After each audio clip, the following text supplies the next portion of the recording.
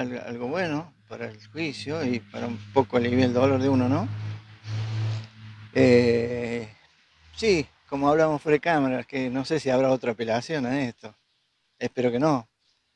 Pero ya creo que este año no va a llegar. si lo elevan a juicio, no creo que llegue este año a, realizarse el juicio. Lamentablemente son muy lentas las, este, bueno, las chicas que ponen siempre las defensas para un lado y para otro, estiran el máximo esto. Pero bueno, no deja de ser un, aliciente para ver si llegamos a, que haya justicia. En este caso, además, en el juicio deberían responder la esposa de Carmona y también los guardiacárceles. Sí, claro, claro, todo. Los seis, seis o siete creo que son, una enfermera, no sé quién más era, y la mujer, la mujer, a todos le cabe la misma imputación este, que le hizo nadie, ¿no? O al fiscal, digo.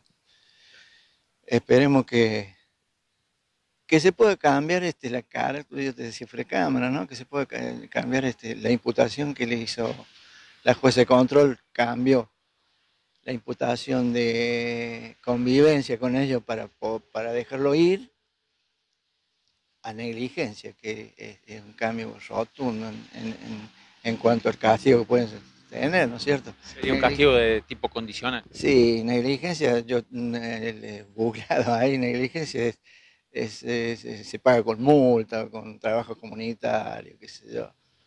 En cambio, la otra imputación ya le cabe pena. Espero que se pueda cambiar el juicio, eso que creería que capaz que se pueda. Por las pruebas que hay, si son muy contundentes, capaz que se pueda cambiar la imputación.